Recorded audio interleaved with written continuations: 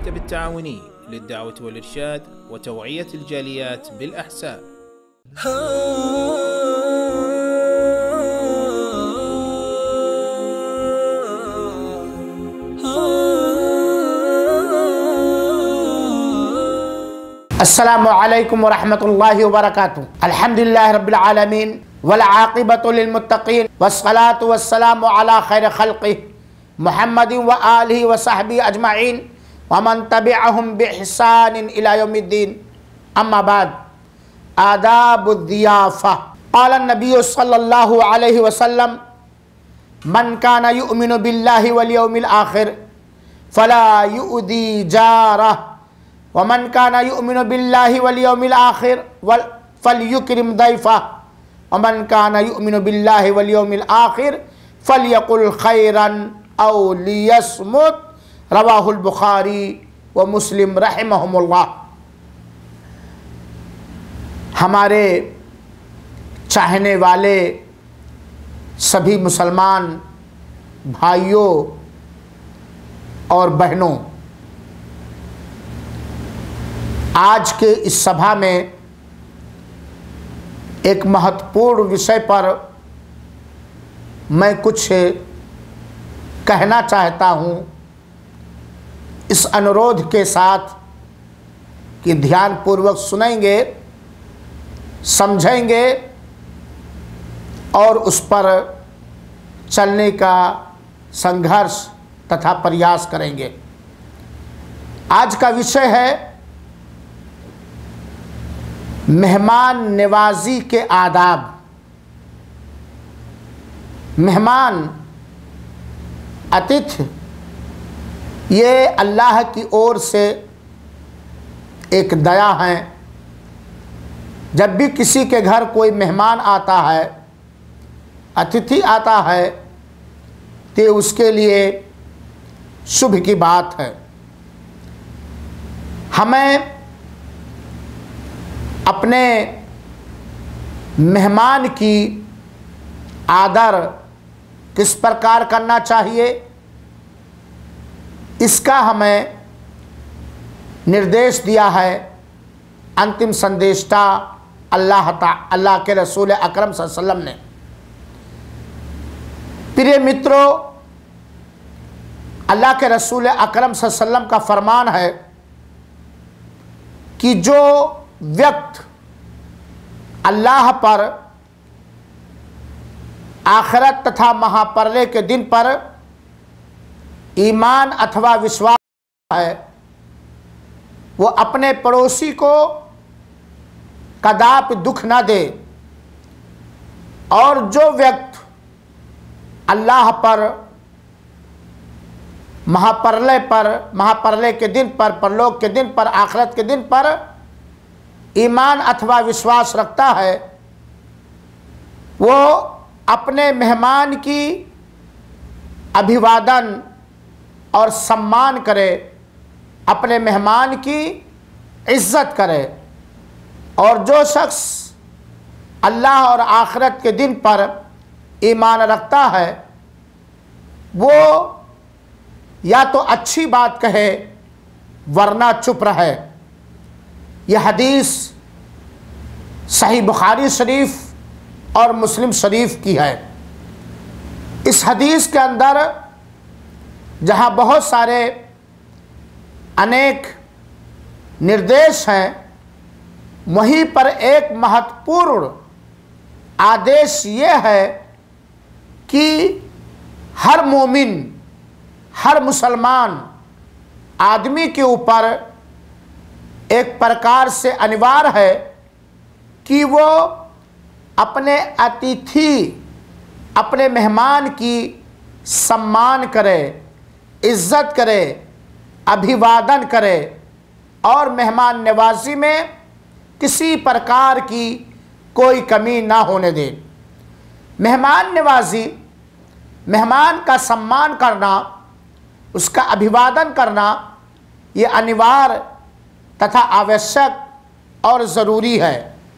और इसके बहुत सारे आदाब हैं। हम इस छोटे से समय में कुछ महत्वपूर्ण अदब बताना चाहते हैं। सर्वप्रथम कि जब भी कोई व्यक्त मुसलमान आदमी हमें दावत दे, निमंत्रण दे खाने की, पीने की तो हमें उसी, उसकी दावत स्वीकार करनी चाहिए और उसकी दावत कबूल करनी चाहिए। अल्लाह के रसूल अक्रम ने फरमाया है हक़ुल मुस्लिम अलल मुस्लिम खमसुन। एक मुसलमान का दूसरे मुसलमान पर पाँच हक, पाँच अधिकार हैं।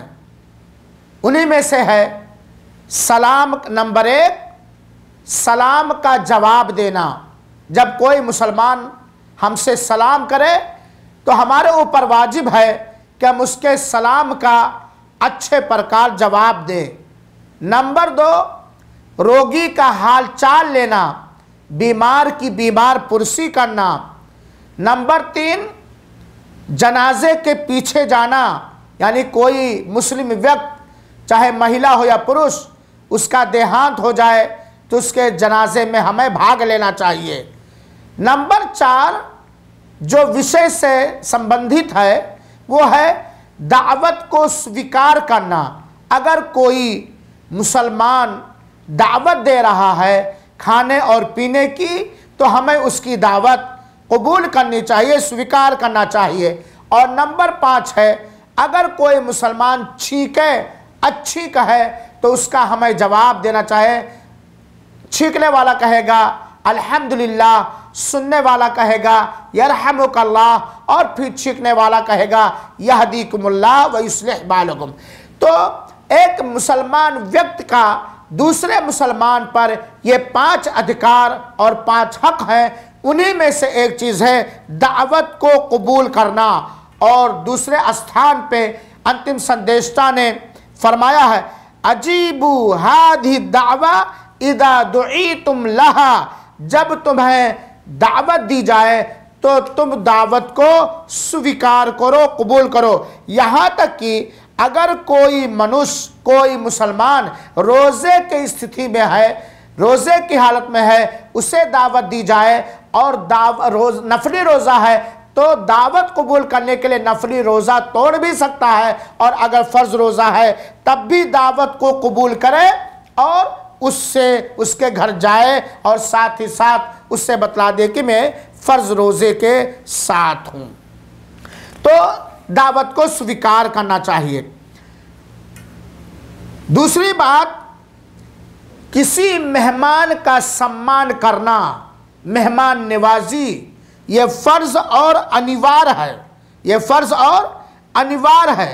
अल्लाह के रसूल अकरम सन ने फरमाया है मेरे मित्रों और साथियों, इस सिलसिले में अल्लाह के रसूल अक्रम सम ने फरमाया है, इन नज़ल तुम बेकौमिन फ़मरुलकुम बिमायम बगीफ़ फ़कबिलू फ़ैलम यफ़लू फ़ुद मिनम हक़ दैफ़िल्लदी बगी लहम।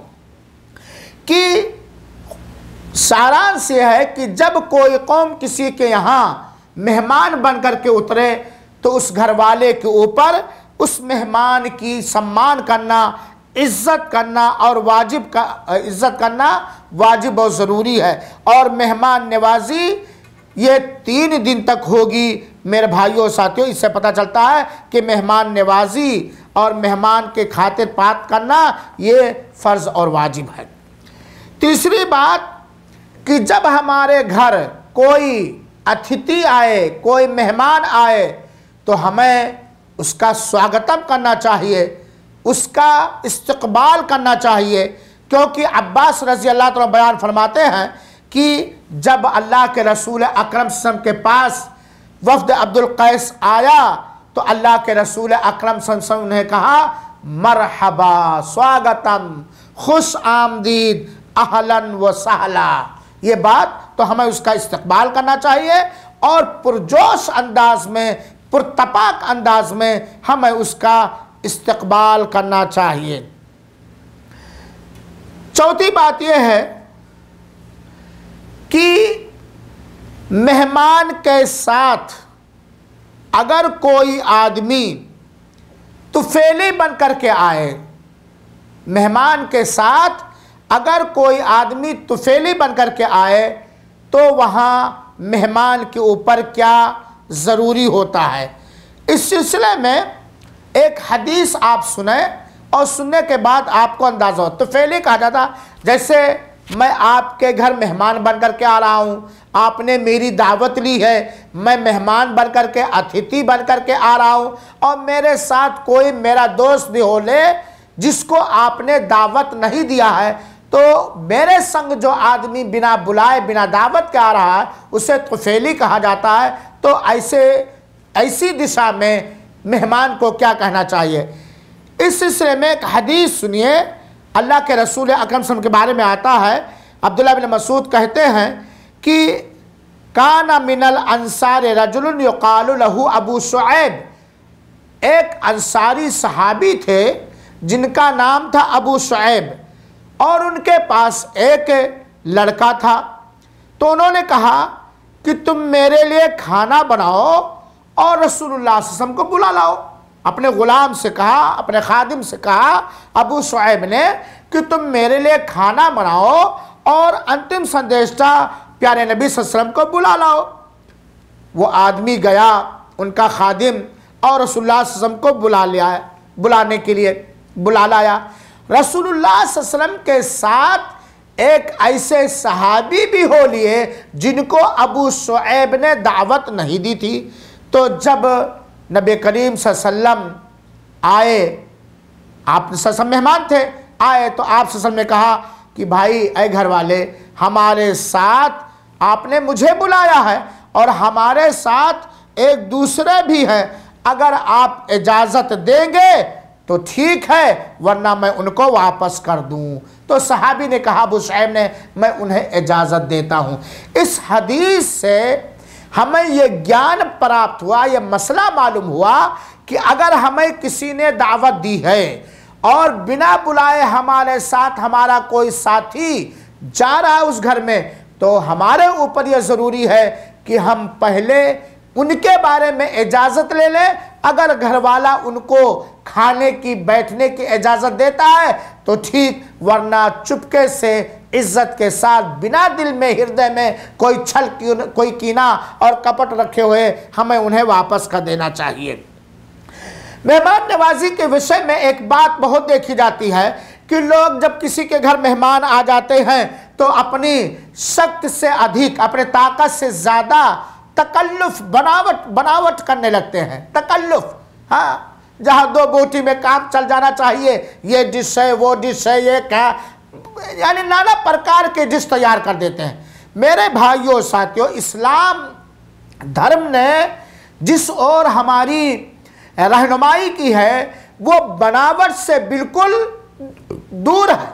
बनावट, तकल्लुफ की कोई आवश्यकता नहीं है, बल्कि बनावट और तकल्लुफ या अल्लाह ताला को पसंद भी नहीं है। इसलिए मेहमान के लिए भी हमें कोई तकल्लुफ नहीं करना चाहिए। अब्दुल्ला इबन उमर से बरवी है, कहते नुहीना अन तकल्लुफ। ये सही बुखारी शरीफ की रिवायत है कि हमें तकल्लुफ से, बनावट से रोका गया है। लिहाजा मेरे भाइयों, साथियों, हमें तकल्लुफ़ नहीं करना चाहिए। ना मेहमान को खाने में कोई तकल्लुफ़ करनी चाहिए और ना मेहमान नवाज़ को, मेहमान नवाजी करने में कोई तकल्लुफ़ और बनावट से काम लेना चाहिए। बल्कि अल्लाह ने जो दिया है, जिस प्रकार दिया है, हृदय को फैला के कुशादा करके हमें मेहमान नवाजी करनी चाहिए और तकल्लुफ़ से हमें दूर रहना चाहिए। इसी प्रकार इस बात का भी हमें, इस बात का भी हमें ध्यान रहे कि जिसके घर हम मेहमान बन कर के जाएँ, अंदर जाने से पहले हमें इजाज़त ले लें और जब हम खाने के बाद वापस होना चाहें, तब भी हमें इजाज़त ले लेनी चाहिए। आए तब भी इजाज़त लें। और जाते वक्त भी हमें इजाज़त ले लेनी चाहिए। बिना इजाज़त के हमें ना अंदर जाना चाहिए और ना ही बिना इजाज़त के हमें खाना खाने के बाद वापस होना चाहिए। यह एक बात भी इस विषय में ध्यान रहे कि पहले हमें बड़े लोगों को आगे करना चाहिए। दाहिने जो हमारे हैं, उन्हें आगा, आगे करना चाहिए। जब हम खिलाने के लिए, बिठाने के लिए तैयार हों तो हम में जो बड़े हैं, उनको हम आगे करें। जो हमारे दाहिने हैं, हम उनको आगे करें। अल्लाह के रसूल अकरम वसल्लम का इस सिलसिले में ये कहना है, अल्लाह के रसूल अकरम वसल्लम के पास एक बार पीने की चीज़ लाई गई। तो आप वसल्लम ने उससे पिया और आपके बाएँ, दाहिने एक लड़का बैठा हुआ था। और बाएँ जानब बड़े बड़े लोग बैठे थे। तो अल्लाह के रसूल अकरम ने कहा कि अय बच्चे, क्या तुम हमें इजाज़त दे दोगे कि तुमसे उम्र में जो बड़े हो हमारे बाएँ बैठे हैं? हम उन्हें पिला दें? बच्चे ने कहा, नहीं, अल्लाह के रसूल अकरम आपसे जो हमें हिस्सा मिलना है, जो हमारी खुशकस्मती है, उसको हम खोने नहीं देंगे। तो इससे पता चलता है कि पहले हम खिलाने में, पिलाने में दाहिने साइड से शुरू करेंगे, चाहे दाहिने साइड छोटा हो या बड़ा हो। और अगर सारे बड़े के बड़े हैं तो बड़े लोगों से हम शुरू करेंगे। बहरहाल, दाहिने साइड से हम शुरू करेंगे और बड़े लोगों से हम शुरू करेंगे। इसी प्रकार, यहाँ एक बात और ध्यान में रहे कि जिसने हमें मेहमान के तौर पर अपने घर कुछ खिलाने के लिए कुछ पिलाने के लिए बुलाया है। तो मेहमान को चाहिए कि खाना खाने के बाद मेहमान नवाज़ के लिए, जिसके घर मेहमान बना है, उसके लिए दुआ करें। क्योंकि नबी करीम वसल्लम के बारे में आता है कि अनस अनस रजला तलान बयान फरमाते हैं कि नबी करीम वसल्लम साद बिन उबादा के पास आए। चुनाचे साद बिन अबादा रज़ी अल्लाह तला अल्लाह के रसूल अक्रम सम के सामने रोटी और तेल लेकर के आए। अल्लाह के रसूल ने उस रोटी और तेल को खाया और खाने के बाद आप वसल्लम ने यह दुआ पढ़ी। अफ्तारा इंदकुम साइमोन व अकला तामकुम अल अबरार वसल्लत अलैकुमुल मलाइका। ये हदीस साल बिन साद की है। और ये अबू दाऊद की रवायत है। अल्लाह मालबानी ने इसे सही कहा कि अल्लाह के रसूल ने कहा, तुम्हारे पास तुम्हारे पास रोज़ेदारों ने इफ्तार किया, नेक लोगों ने तुम्हारा खाना खाया और फरिश्तों ने तुम्हारे लिए दुआ की। और इसी तरह एक दुआ ये भी कर सकते हैं अल्लाह अतमन अतामनी, वस्त मन सकानी। अल्लाह, जिसने मुझे खिलाया तो उसे खिला, और जिसने मुझे पिलाया तो उसे पिला। इसी प्रकार एक दुआ और है अल्लाह फिर लहुम वरहम वबारिक लहुम, फ़ीमा रजक हम अल्लाह, तूने बख्श दे, इनके ऊपर दया प्रदान कर। और इनके जीविका में, इनके रोज़ी में अधिकता अथवा बरकत। दे तो जिसके घर हम जाएँ, मेहमान बन कर के, मेहमान नवाज़ के लिए हमें इन शब्दों के साथ दुआ करनी चाहिए। यहाँ पर एक बात और मैं बतलाऊं।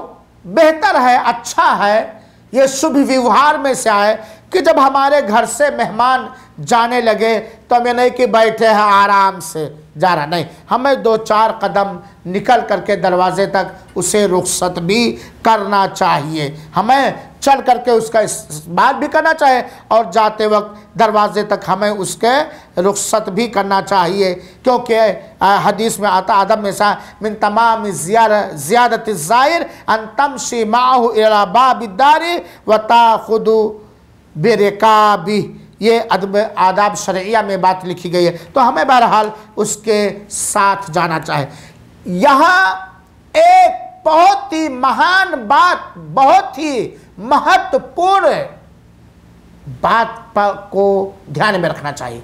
वो ये है कि चाहे मेहमान नवाज़ हो और चाहे मेहमान हो, दोनों को चाहिए कि अपने शक्ति अनुसार, अपनी ताकत अनुसार अल्लाह के लिए इस्लाम धर्म के हिसाब से एक दूसरे का ख्याल रखा मेहमान नवाज़ मेहमान का ख्याल रखे और मेहमान मेहमान नवाज़ का ख्याल रखे। ये कुछ बातें हुई मेहमान नवाजी के विषय में। अल्लाह ताला से हम ये प्रार्थना करते हैं कि अल्लाह ताला हमें अपने मेहमानों की सम्मान, आदर, अभिवादन करने की तोफ़ी दे। आमीन। वसल्ला वसलम अला नबीना मोहम्मद अलैहि वसल्लम।